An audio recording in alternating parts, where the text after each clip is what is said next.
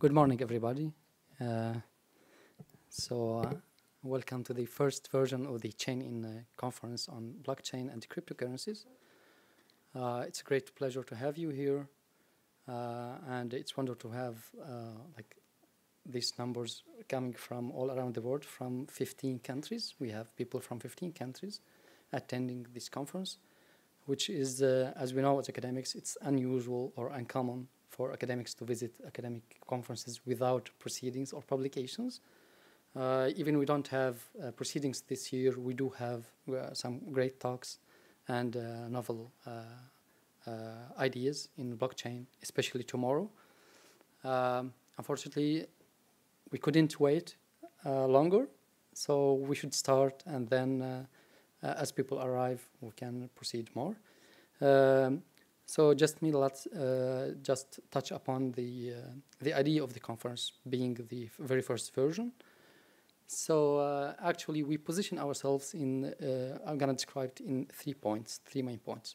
So first, Chain-in is a platform for education. It's not a platform for uh, advertisement or uh, or speculation. So the idea is that actually the the area you know it's it's growing very fast and we are missing expertise. We don't know what's blockchain.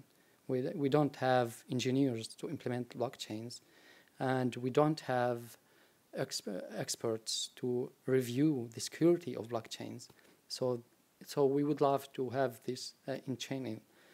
The second point in Chain-in is that um, the second point is uh, that it's we see that blockchain is actually an ecosystem that's beyond technology itself. So it's where computer science, security, law, business, economy, and others intersect.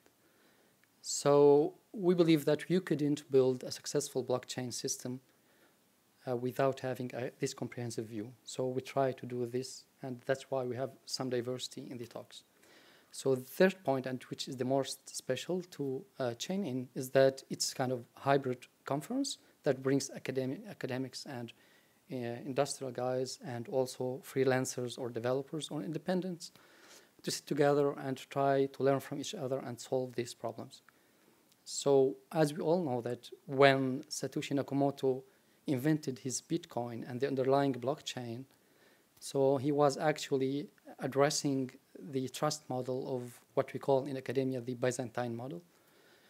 And while these guys, so all the credit goes to these guys in Bitcoin, the developers, the industry, who have just did this great adoption for Bitcoin, we have been failing as academics for over three decades. So all the credit goes to the Bitcoin uh, community and especially the industry.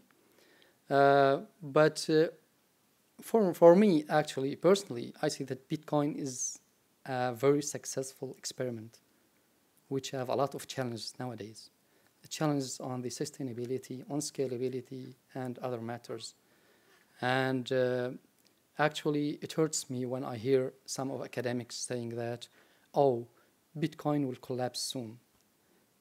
And I don't know if this is correct is it like does it sound good to just we just watch bitcoin falling? So no sorry. We are academics. These are not our values or ethics. We should try to solve this problem. And we try to put hand in hand with the industry to learn from each other and try to solve these problems.